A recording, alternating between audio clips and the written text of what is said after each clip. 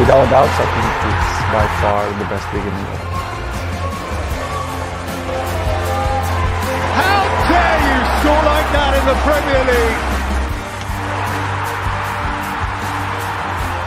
Mission accomplished in the Premier League. The American Nostalgia. Hello, everyone, and welcome to another edition of ASTV's Premier League show, Match Week 12 review. Can't believe we are already 12 match weeks in. I can't believe it's November 25th. And I guess while we're at what I can't believe it's not butter. No, I, I can't believe that Thursday is already Thanksgiving and we will be into December uh, within just like a short whisker of a toss. So, what also I can't believe is Paul Bickler is back in the house after two weeks out, missing uh, podcast 300 and 301. Uh, good to see that you come rolling back in for a Premier League show, you know, on City capitulating and Liverpool taking victory laps. So thanks for coming back now after the stress is gone. Yep, very on brand for me to miss all the major milestones in my life. it's true. It's very, very true. So uh, we'll get right into it here. You know, the Premier League's been a crazy place uh, the last few weeks. Obviously, we have City going through the struggles they're going through. Liverpool just keep trucking along. You know, arguably as competitive of a league as it's been. Like people have talked about the Premier League being the most competitive league, and I've been on the podcast and talking about how if it wasn't for Jurgen Klopp, Man City would have literally turned the Premier League into Liga uh, and PSG winning it every year. If it really wasn't for Klopp, like even just challenging in those years against City, outside of the one underlying Maurizio Sarri Chelsea year, right? Like there haven't really been any other titles during the Guardiola reign. But we have to start. I think if you're going to talk about the biggest story right now happening, it isn't Liverpool being clear at the top of the table. I think the biggest story in the Premier League right now is Manchester City. So, you know, I'll ask you, Paul, the same question I ask on the graphic. Like, is it just a wobble or is this something bigger? And I specifically use this image because I felt like this image, this image sort of speaks, in my opinion, to what's going on at City. Like, you have Foden arguing with like the match officials at the end of a match. You have Pep basically consoling Gundogan. I think because he's trying to like remind him that it's not his fault that he brought him back to City and he wanted out of Barcelona. Because, you know, I saw an, a uh, a stat the other day. It was like, what could go wrong when you bring a guy back? And Ilkay Gundogan's 20, 24, 25 campaign is exactly what can go wrong if you let a legend leave and bring him back. So, um, answer the question, I guess, Paul. Is it just a wobble? Is it something bigger, or can it maybe be a mixture of both? Well, it can be a mixture of both, but I mean, I think we're in, we're in unprecedented territory, right? I mean, we were last week when Pep hadn't ever lost three in a row, let alone four, right? So, I think I think we're in I think we're sort of in uncharted territory here. So I think it's obviously I, I think it's more than a wobble. Um, I, I think the striking thing to me is if you just look at that bench from from yesterday's match, you just look at the the roster and that bench. That is so uncity like, and has been so uncity like. Um, we've talked in the past about how they've done a good job of sort of nurturing a lot of academy products and giving them spot starts into the lineup on kids that are special. That's how Foden cracked the lineup. But we never saw a, a city side that was a bench that was three fourths academy. We just never seen that. Um, when you look at that midfield and you've got, you know, you've got Lewis who's relatively new on the scene. He's not a, you know, he wasn't brought up as your traditional mid. You've got a 34 year old Gundogan has his second term with the team next to a Silva who's always played better in more attacking wider areas than he has when he's been asked to play a recessed midfield role. Um, and then you look at the pieces that are out, and the pieces are out. There's numerous pieces out, but the two big ones are De Bruyne and Rodri, which are the two pieces that this side has always built themselves around. So I think it's a I think it's an amalgamation of a lot of things. I think they're two linchpins, they're two big they're two big pieces being out. And you know, I think at the end of the day, I'm still not sure. Like, if you were to give Pep a truth serum, I'm sure I'm not sure that he's hundred percent happy or convinced that he's getting what he thought he would be getting out of Haaland at this point with what's around him. Yeah, I, I, I don't disagree with you on Haaland. I think they're a one dimensional side, both scoring goals through Haaland and the over resilience and reliance they have on Rodri. Um, it may be a mental thing too. I think the other part is is these are a couple of the stats. I was I was listening to some stuff today. This is what comes with when you have a 90 minute commute both directions on Mondays. Um, you listen to a whole bunch of more stuff than you would have uh, normally. So I'll give a little credit to others on some of these stats, but these things jumped out at me. Um, if I asked you, Paul, what player has logged the most minutes for Manchester City all competitions this season, you would say? Oh, I don't know. Is it? You think it should be Haaland, or you think it should be? Yeah, I would. Think, it's clearly not Foden. We know that because he. part, part of me thinks it's somebody like Kovacic, but he's been out. So like, but like you'd think, right? Yeah. It, even if it was like if you said yeah. Kyle Walker or Ederson, yeah. it isn't even the goalkeeper. The player who has played the most minutes in all competitions for the greatest, most lucrative club in the world is one other than Rico Lewis. Hell yeah. And to me, that represents yeah. like one of their major problems. Now, some of that's health. Some of that is is that they have world class players who, while we talk about players playing way too many minutes for their countries and and and when you don't have you know the end of seasons and you don't get off seasons, that also happens when you play deep into Euros because you're big key players for your country. So like I don't want to like diminish the fact that a lot of big clubs have probably have a player who surprisingly has the most minutes. Here's another one for you. So obviously we know that Haaland is their leading scorer. Who is their second leading goal scorer? Um, I'll go with Doku.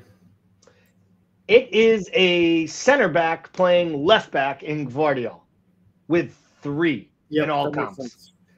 At this point of any other season, Riyad Mahrez would have already scored 10 goals, and people would still be saying he wasn't as important as like a winger coming off the bench. And I think that to me is the big difference with this side. They sold Alvarez.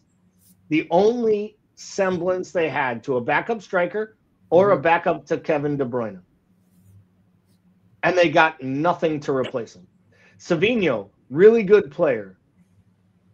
But let's be honest, he's a marginal buy for a, a, club like City with the actual, like what he's shown so far. He still has no goals or assists in the Premier League.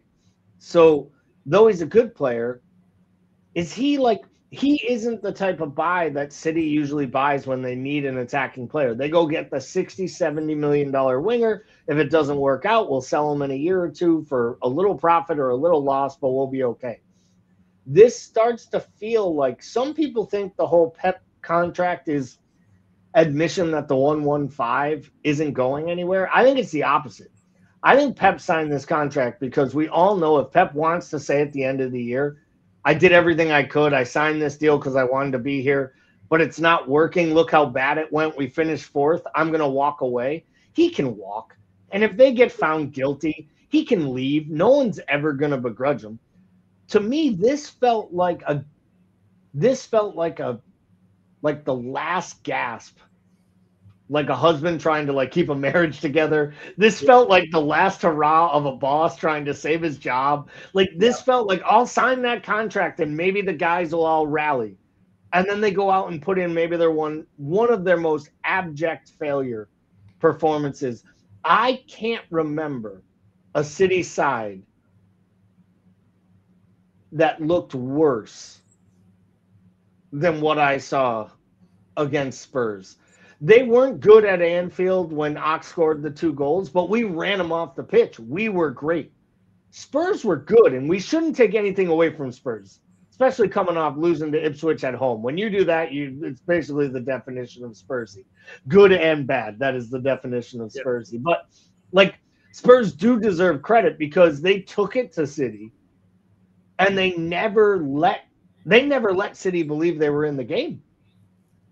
Which is just borderline insane. So is this down to more about like Kyle the, the wheels have come off Kyle Walker at the wrong time.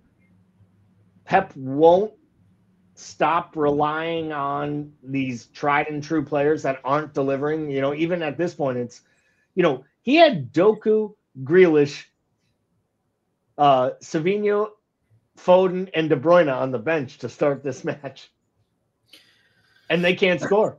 Yeah, I, I, think this is just the apex of it. Like I feel like for two seasons now, we've we've said like this this squad is getting older, it's thinning, and I think this is just the apex of it.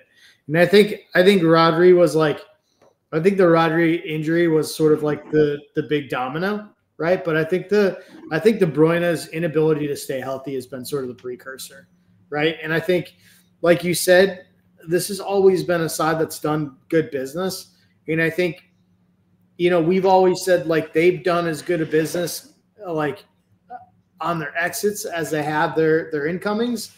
But I think at the end of the day, like I think they just lost so much, and I think they they failed to you know address some of the key pieces they lost, whether it was ever being able to like pick up what they lost in Mahrez or what was ever being able to like functionally have in the roster what they lost in Alvarez. I just think you know the accumulation of age in in squad numbers and and just their inability to sort of restock. Now, whether that's I think I think only time is going to tell like whether this was a conscious plan on their part or whether their hand was forced with what's going on behind the scenes. So I, I, think only time will tell that, but I think that's just the apex of something that we've seen. I feel like we've seen this happening for like two and a half seasons now and we're just finally hitting the apex where they can no longer sort of strain together. And who knows, man? Maybe they're going to breathe life into this thing somehow. Maybe there's one more run. Um, we always say they don't lose past the first of the year. So um, fingers crossed they just drop a few more before the first. Yeah, I expect them to. I won't lie. I expect them to strengthen in January if they can spend, if they have the aptitude to spend, like you're saying.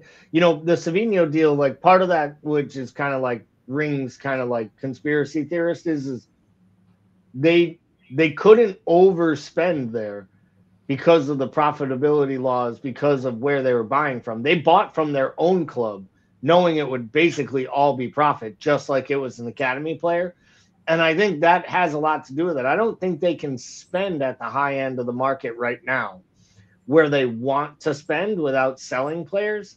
And that's going to be a tricky item because you have players that you'd want to sell probably like a Grealish or you know you you just have a lot of dead weight contracts there. And then of course you have Kevin De Bruyne's big deal coming up. And obviously it sounds like he's on his way out. One thing I did want to ask you about is is we've talked about this in the past and I think to be fair, we are very critical of Man United whenever we can on this channel and on these podcasts as Liverpool supporters. And we love to rat and, and bang on Bruno Fernandes, right? But to be honest, the fact that Kevin De Bruyne is the club captain at Manchester City, and in my opinion,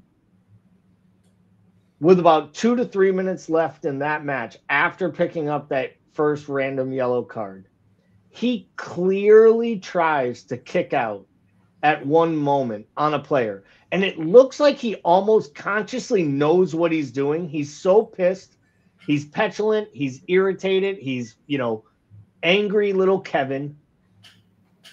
And as he kicks out, I look at it and I think to myself, like, this guy has to know that that's a second yellow and he is missing the Liverpool match. Like, is it just me, or, and I'm not saying he was trying to get himself banned from having to play at Anfield next weekend, but are City the type of team that are such the like playground bully that if you put them in the corner and you smack them in the mouth, And right now, don't kid yourself, losing five in a row on the trot is smacking the bully in the mouth. Like they almost break down from Haaland picking up late yellows to them surrounding the referees anytime the game is close. Like, can this city team actually come back from eight or 11 points behind a team that is mentally superior to them? I don't see the I don't see the fight in this dog anymore. I mean, when for for De Bruyne, it was like he even when they were at the top and they were running riot over everybody, right? And they were winning league after league. I'd never. I, we joked we'd never seen a like a more miserable title winning player than De Bruyne, who always just looked like he didn't want to be there. So I can't imagine he's going to look like he wants to be there right now, right? Um, but like in those teams, whether it's Vincent Kompany uh, or Fernando or uh, even in even to some extent Touré brothers, you know what I mean? They always uh, David Silva, Rodri, like they've always had players at the heart of that team that were were stuck in for a fight, right? Like those are players that like they were street fighters in that team, and like I just don't see outside of Bernardo Silva, who just tends to be more petty than anything. I don't really see a whole lot of that in this side. I mean, look at this side up and down. I mean, Haaland maybe just because he's a big boy, right? But like when you look at the side, like I don't think anybody looks at Gundogan and is like scared of a physical like that. It's just going to be a physical, you know, tough time in the midfield. I don't see that in Walker, Akanji, Gvardiol, Stones. I don't see that in any of those guys. Like I don't see any sort of intimidation um, in that. And I think you know, like we always said, like we had never really seen a city side that faced like adversity long term, and that was always my thing with Haaland. Like, what does this look like when it doesn't go his way? When he gets locked up, scoring, and like, yeah, I, I think that kind of has been contagious, really. Yeah, I, I think it's I think we're onto it. I think anyone who is ready to just like throw out like write the obituary and throw that last pile of dust down, you're a moron because it's November 25th and nothing is decided when there's still 25 plus matches to go.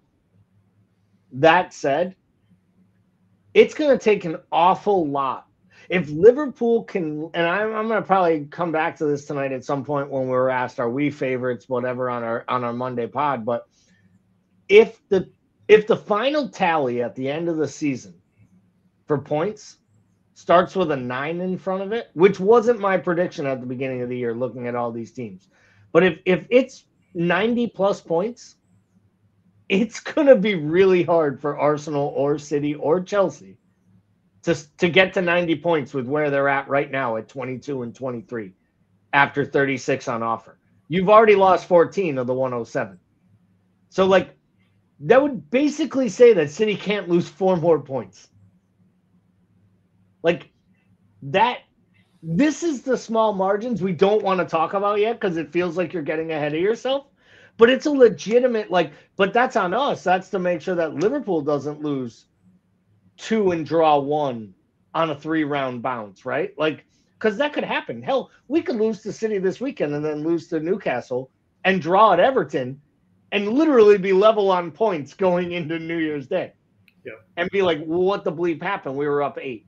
So it'll, it'll be really, really interesting to see. So, what was also interesting was the week that was VAR. And there were so many decisions in the Liverpool, Southampton, and Chelsea matches that we could spend the entire rest of the program on them.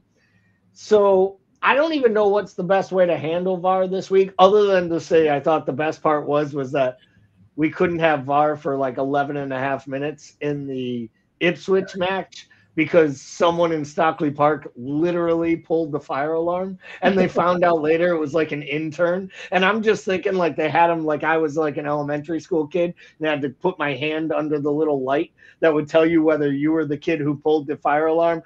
I only know this because well, I was the fucking kid who pulled I was really alarm. I was really rooting for it to be like David Coote. Like, it would have been so awesome if it was David Coote. and he did it purely because there was more evidence of him doing yak inside that room. So he had to get in there like like Mission Impossible style, and he came through the ceiling. Get his little folder. Lowered himself in from the ceiling. And it's Howard Webb just up there pulling the police. Um, no, all seriousness, it was a crazy weekend. Let's start with maybe what I think is one of the most controversial calls, only because I've seen it mixed bag. Like the referees union are all supporting it, the players union are all denouncing it, which usually means that the truth is somewhere right in the middle, right? It's Christian Nørgaard's red card on Pickford for the play. Like the referees are saying, you don't have to give a red, but giving a red is the right decision because the player has to know he could injure someone by doing what he did. The players are saying he has a chance to score a fucking goal. He's supposed to score the goal. And if the goalie doesn't roll around, we never even look at it with this fictitious video assistant. Where do you roll on this? You know, I'm the former striker like you who got stuck in on a keeper or two in my day. So I'm not exactly feeling bad for him. But where do you come down on this one? Because this one seems like it's really split it almost 50 50. Yeah. I mean, I guess my heart is with the players here. Like, I understand that and I feel like that, but my head is kind of with the refs on the decision just because, like, I think if you go studs in and catch a keeper that high, like, I think it's the height that really gets it for me, right? That's what makes it a red to me is like, I think if that's lower, it's not as big of a deal for me. The other part is like Pickford's involved, so I kind of don't want it to be a red just in general. Yeah, I it, to me it just felt like um, I think it was a situation where you had to give it. I don't love it. Um, it's almost more embarrassing to Everton that they got 60 minutes up a man at home and couldn't score a goal. Um, good job by Brentford. They hadn't kept a clean sheet all year long. They decided the best time to do it was with 10 men at Goodison. Um, another just shot at Everton and Sean Dyche. But it'll be interesting to see where it goes from there. I personally understood that call. Let's jump over to the Liverpool match where there was literally about eight different things that were reviewed, about three others I think that could have been reviewed. Let's rapid fire these.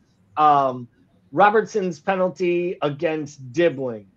Personally, I felt like it was close enough that once it was called a penalty on the field, I think it would have been an injustice and an incorrect decision by VAR to change it because I don't think there was guaranteed evidence that that was a mistake, though the foul might have been outside the box. From was the foul outside the box in your opinion, or was it on the line? Because I think depending on what camera angle you watched, it was one or the other. In my opinion, it was outside the box, and in my opinion, the mistake that was made is that it was called a penalty. Because if if we're going to look, if like if like VAR is going to be the line in which like you know, we're looking for clear definition one way or the other to change that call. I want the change that has to be made to be a penalty versus the other way around because of the the bar the VAR threshold. That makes sense. Like to me, it's the same thing with like the offside. Like I just think that you should always let that go and you know call it outside the box. And then if VAR takes a look at it and sees enough that it is clearly a penalty, then I get called over to the monitor. I think that's like to me, that's how that should have gone through. Yeah, and I I do understand that. I guess I come back to my whole my argument all along has been like by giving these guys VAR, it, uh, it in some ways empowers them not to make the tough decision on the field. And I still want referees to try to ref in the moment. And I thought in that spot he was trying to do that. I still think the foul occurs right near the line and probably at least his foot is still on him when he crosses the line, and therefore it probably would have been something that VAR would have given. I think, like, I think it was a penalty. Like, I really do. I, I think, I think the foul happens so close, drags over the line, the contact occurs continuously through the action, and Dibling is driving in on goal and I mean, we both know it's a terrible me, job by Robertson. I just think I, I just felt like the they're foul, calling it either way. I felt like the foul started before the box, and the only time that you call a penalty in the duration of it, like the the duration of a foul like going dragging the them or holding them, like a hold, like we saw a couple weeks ago, right? Like so, for me, that's I don't know. It's one of those 50-50s. I just think if I'm a ref, I'm making VAR make the penalty decision there based on the placement if it's that close. So the red card, uh, potential red card, Lallana on Gravenberch. Um, you know, good friend Adam Lallana. We all, I don't think anyone would ever in a million years ever think Adam Lallana is trying to lunge and or hurt a player on a tackle. He's just old and shouldn't be starting Premier League matches. Um, he surely shouldn't be starting Premier League matches against top of the side teams with dynamic midfields. But hey, Russell Martin likes to play Russian roulette, as you, you saw in the first goal that we scored. Um, should Lallana have been sent off? Were you okay with the fact that it was a yellow originally and it was one of those orange tackles and there's not history and or intent in it and therefore you let it go? Because to me it felt like one of those ones that didn't need to be given.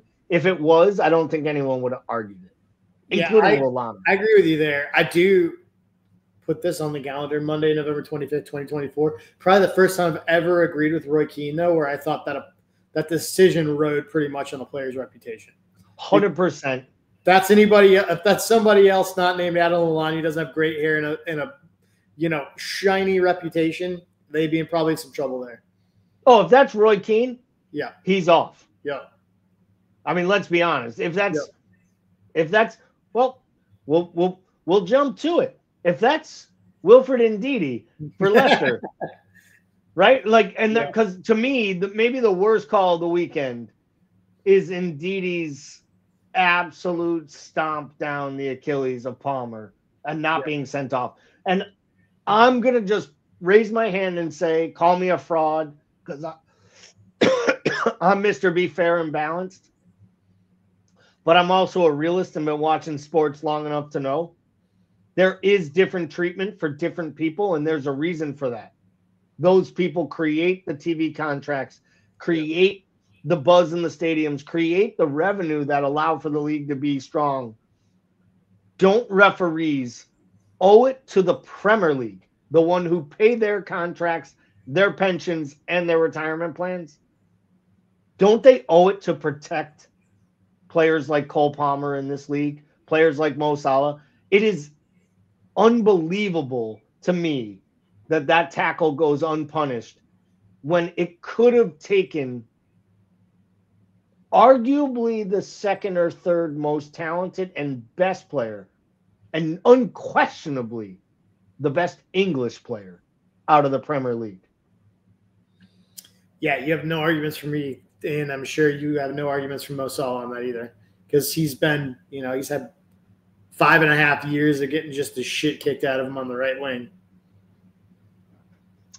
Yeah, I just don't like it. I, I, I thought the foul was. I don't think Ndidi was trying to hurt the player. I really don't. Yeah. I genuinely think he misses his tackle and he catches him on the back of his leg. But that's the type of tackle that has to get eradicated. Like yep. you can't have that. Because that's the type of accidental play where the player has no idea it's coming. Right. They don't brace for it. They don't set themselves, and their entire, you know, 18 to 24 months of their career, if not the prime, can be taken away from them. And it's like, I just felt like that one was really, really bad. Um, yeah, and what happens to Chelsea if they lose Palmer? You know, that's a. Well, they drop. They I, they I go mean, from basically being a team fighting to be yeah. second or third yeah, that's a side who whose entire livelihood runs through that player right now. Well, clearly they were smart enough to leave him off the Europa Conference roster, so they knew it was a good idea. Were there any other VAR um, instances or things you recall from the weekend? I, I, you know, there were so many of them. There were, you know, there were there were the goals, there were the handballs, but to me, those were the big ones: the penalty decisions, the the possible red cards. I couldn't really think of any other ones that really were talked about too too much. I think that was the majority of them. Maybe the uh, the Brighton second yellow. I believe it was just dumb. I guess I don't. know. Yeah, that's just one of those. I mean, once you get to the second yellow, you can't really review it, so then it's not really a. You know what I mean? It, it ends up becoming one of those talking points that nobody wants. Um, let's take a look at the fixtures here. We already talked a little bit about obviously um, Tottenham and City. Brighton Bournemouth, really interesting match, kind of fun. you know, to me, every time I watch these teams, what I realize is that they each have two or three players that are just a class above even a really good class team. I think Bournemouth and Brighton are actually better than maybe the level they hold within the Premier League. But I think there's players on their teams that are even better than their club. And I don't I don't think there is a player in the Premier League that is a step below where he should be than João Pedro. Like I think João Pedro could I think João Pedro would have been every bit as good, if not a better buy, if Spurs had made him their record signing to replace Harry Kane. Like would I you think would, if you were City, would you have replaced Alvarez with him? perfect example. Yeah. Prime example of a guy who could have been a I I think he could do a job at Liverpool. I think he could have been I think he would have been a perfect Bobby Firmino type of replacement to play along the way that we play. It just he does so many things that are so impressive, so good. Um, I think we have to give a second or two here and just credit West Ham. Yeah. Um, Lopetegui was on dire straits, looked like he was on his way out. Team didn't look like they wanted to play for him. He made some changes today. Feel like he might have actually, for the first time all year, started his best 11 in a match. And they got a 2 nothing win at Newcastle, which was fully deserved. Like they could have scored more than that. Um, really good result for Newcastle. And I think we'd be remiss not to talk about what looks like a Villa team that is just absolutely out of gas at this point. Like, what is it about Villa right now? Are they, is the bloom coming off the rose? I think you know what I think it is I think it's a combination of things. I think this is the first like I think the Premier League has now gotten a full cycle of what Unai Emery likes to do with this side. So I think this I think it's kind of like I think this is similar to what started to happen with Liverpool, you know, when like people had gotten multiple rounds of Jurgen just running the rails off them. I think they're starting to figure out what Unai Emery likes to do tactically. I also think that this side, given its injuries, may not be capable of doing the things Unai Emery wants to do with a high line. Uh, and I think that you're seeing these results, especially against like classic counterattacking sides, uh, which Palace is right now. And I think like Unai Emery's probably going to have to adjust what he wants to do with that back line and maybe go back to more of a, a counterattacking style like he did those first like two or three months he was at Villa and he was just putting the midfield together. I think he's going to have to pull this thing apart and kind of start to scrap it back together with what he's got right now. Yeah, I think he has to be a little bit more pragmatic. Yeah. Do you think that? Do you think that Champions League and and I mean I think they play tomorrow or Wednesday I can't remember but I think they have Juventus too. It's not like some small match. Like it is another Yeah, massive match for them this week. Like, do you think at some point they're just gonna have to commit to one of these two competitions and try to push forward? And for the fact that they're doing as well as they are in the Champions League, and you're there again and you may not get back anytime soon like doesn't and and, and you might have the best knockout manager in all of world football outside of Carlo Ancelotti like don't you almost have to focus on the Champions League and be like we're going to do something special here in the Midlands here in the England I don't know. Like, so, like, I'll tell you what, like, my philosophy on league over Champions League is like, my opinion is like, you should always prioritize the league, even if that means that you like alienate your European competitions. And I know there's value in not only this, like, the, the journey of a deep run in Europe, also financial ramifications, right? But, like, to me, with TV money in the way the Premier League is, like, to me, if you don't focus on the league, like I think it deeply hurts your chances. Like to me, like the the Champions League is like if you're gonna make a deep run in the Champions League, you almost have to have two or three years in the league in a row of placing into that competition to give you the opportunity to build the quality and depth you need to do that. Um, Oh, you're 100% fair there. I just more or less talk about like I my problem is this. I think this is a, such a competitive league. I think you can argue when you look and we're going to look at the table. Well, let's bring it up right now. Yeah, I, I, mean, think you can. I think you can argue right now when you look at this table, right, that Brighton with no European competitions, Tottenham, yes, they're in the Europa League, but like, I. I just feel like because Chelsea is resurgent and looks like a legitimate top four, like to me, I think Chelsea looks more likely to finish in the top three right now than Arsenal does, in my opinion. I'd argue Chelsea has a very good argument to say if anyone has a chance to get up near Liverpool this year, it might be us because we're getting better every week, and the rest of the sides seem like they're coming down, coming coming back to the pack. And I, I, I just think that that leads Villa to look at this and say like, wow, if if if Tottenham hadn't blown an opportunity to beat Ipswich at home, they'd be sitting in third place right now. Like it, it this league is so tight. Even I mean Newcastle today, if Newcastle wins at home against West Ham, they're sitting in sixth, right? Like and, and we have another team within striking distance. I just wonder if Villa looks at this and thinks to themselves, maybe we got there a year too early. Like we we almost like Newcastle did two years ago when they finished fourth. They got there just like a peg too soon, before the more investment came, before the actual change. And I just wonder if Villa gets themselves like, let's say Villa can somehow finish in the top eight of the Champions League, and they're guaranteed a final 16 spot. I think they look at that and they probably are like, yeah, we're rotating and starting backups in the Premier League on the weekends of those Champions League fixtures.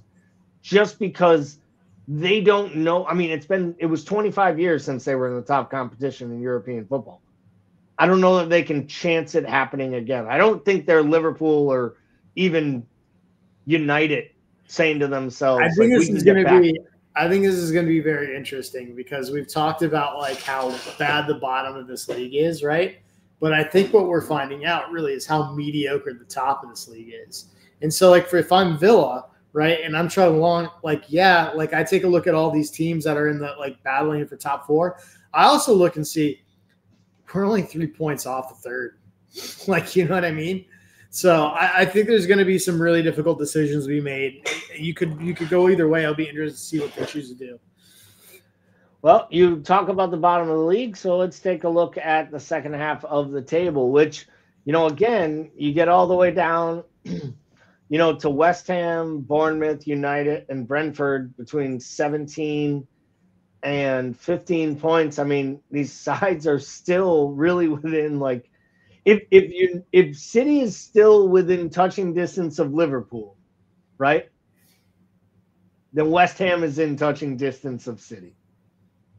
And that that's when you and I you, know I'm It's, it's, it's really like it is interesting. It's really a 14 team league, though, right? Like those the bottom like the bottom six 100%. bottom, bottom six are genuinely terrible.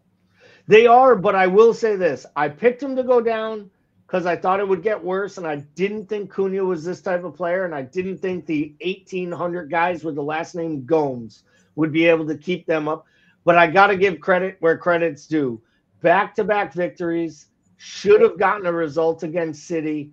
That. Wolves team, that Wolves team will be up with West Ham and them before we know it, and they won't be looking in this group.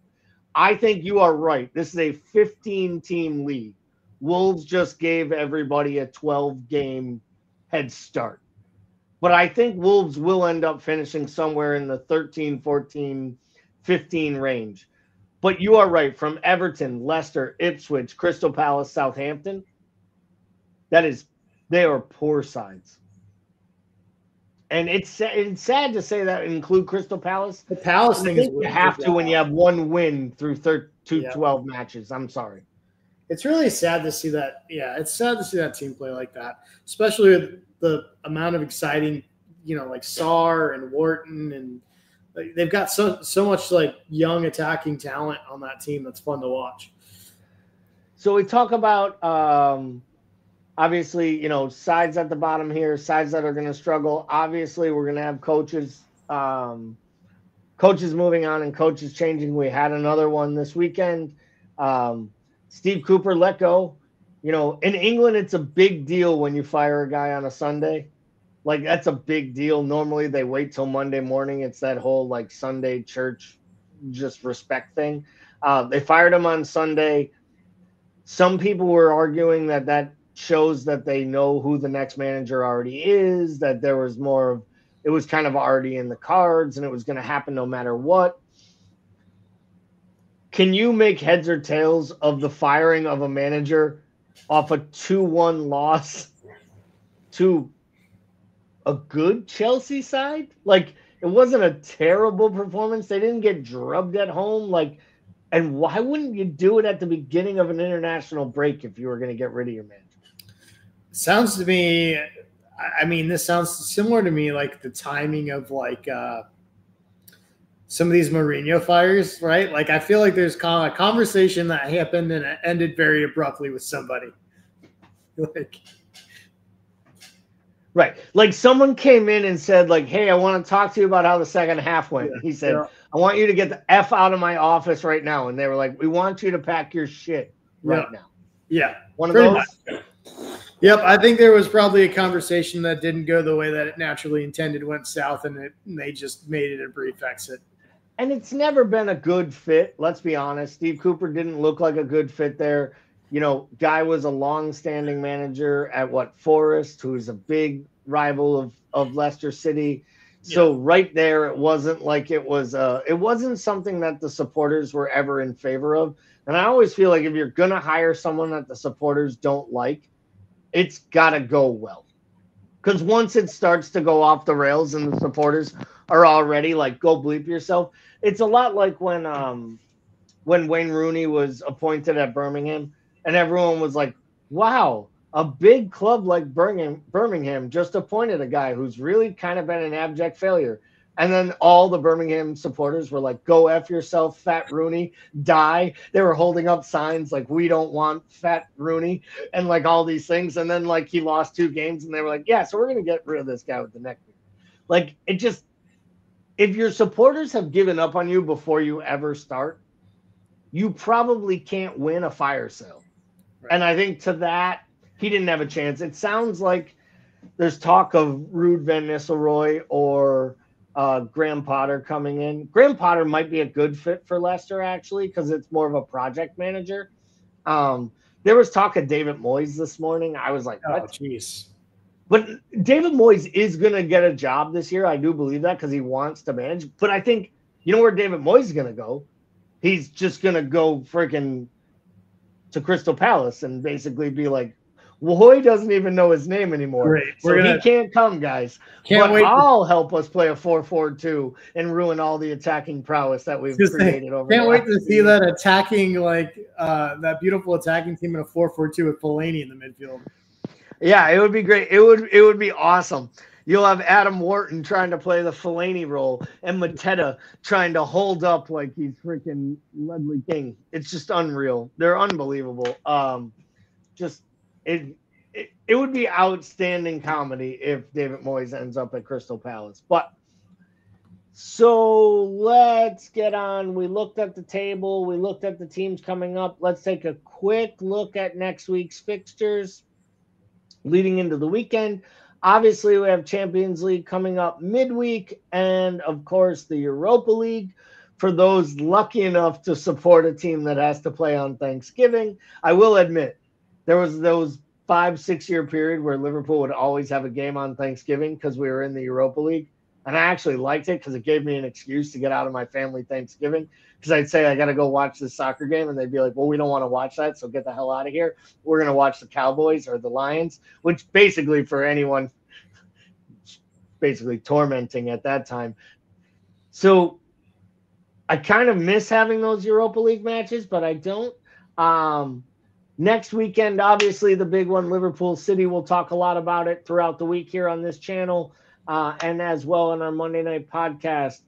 What else jumps out at you next weekend as far as the fixtures go? What will you be keeping, you know, your additional eye on outside of the big one at the top of the table?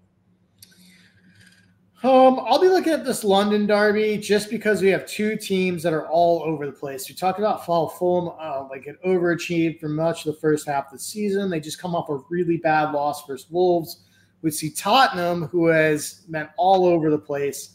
Um, you know, they had a rough stretch, then refound it, went on a really good streak, and it doing like obviously coming off the City win. I'll be really interested to see like which version of those teams show up for that match. Um, and then, of course, I think the other one that I'd probably be keeping an eye on here is just the Chelsea Villa one. Uh, Villa's got to figure out something here. Um, I think it's a pretty big match for them in terms of like you know whether they're going to hang towards the top and fight for top four, top five, um, and then obviously Chelsea needs to sustain their run. Yeah, I think um, I don't disagree with either of those being really interesting ones. That Sunday morning, what a good window that is at 8:30 with three really intriguing matches. And I I actually believe as much as I banged on Everton earlier, I do think there's something intriguing and interesting here about this Manchester United Everton match because yes, United scores the goal a minute and a half into the Amorim era, and it looks great, and it's Diallo with a great run down the wing, and Rashford and a tap in in the nine. And then they were abjectly outplayed for 85 and a half minutes to a team that will probably be relegated and should have lost the match because the best player is a player that your crosstown rival deemed as surplus to requirements and sold to a Premier League team that just came up in Liam Delap. He was head and shoulders the best player on the pitch. Yep. And the reason it's interesting to me, I won't be shocked if the game ends nil nil. I won't be shocked if it ends 1 1. And I won't be shocked, honestly, if Everton wins 2 1.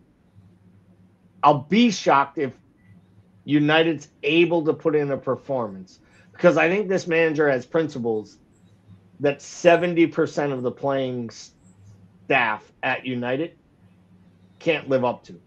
And I think he knows it already.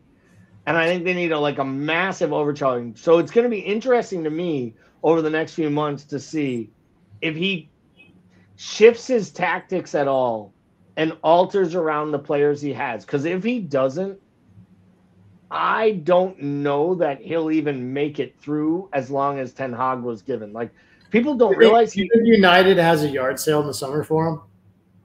I don't think they can, and I think that's the problem. And I think they've made that clear to him, and he still took the job, which makes me think deep down he knew he wasn't getting the city job, and there wasn't another big job for him. And and I think this was the time, and I don't blame him. You take the job that's offered to you because jobs aren't always offered, and it might work out too because shit can break there. They have good players, Garnacho, Amad. You know, you can work with the some of the center backs. Who knows? Maybe De Ligt works. I think the Yoro kid's really, really good. Ugarte was one of his players. And let's be honest, the Gyökeres kid was playing at Coventry and failed at Brighton before he became world class playing under this man at Sporting. And all the skills he has are very similar to a young Rasmus Højlund. It's very much the same profile player he was at Coventry that that kid was at Atalanta before he got him. So maybe things work. My whole question is is will United empower him to get rid of the players that need to go? Because that might be Casemiro, but that might also be Rashford. And I don't think they would ever let one. I think Ralf Rangnick and Jose Mourinho wanted to sell Marcus Rashford, and neither were allowed to by the club. And I think that's what holds that club back. That they have players that are more important than the project. So it'll be yeah. interesting. And I think it starts with like week two. How does he change? What changes from it? So it'll be really interesting. But I am going to hit you up on this because it is a Premier League show. We have minutes left. Is Liverpool winning the league? Yes. I like that answer. what I'd also like is if every one of you listening and watching right now would get on over to the YouTube page, smash that like button, hit the subscribe, get on over to every other channel and outfit that we have. Uh, let us know what we're doing well. If there's something we can improve on, don't hesitate to give us that feedback. We do appreciate it each and every time you send it in. Um, for everyone here at American Scouser TV, thank you very much for following us, for watching the Premier League show. We will be back in action next week. Show probably coming out Tuesday morning as normal. Thank you and have a great week. We will talk to you soon.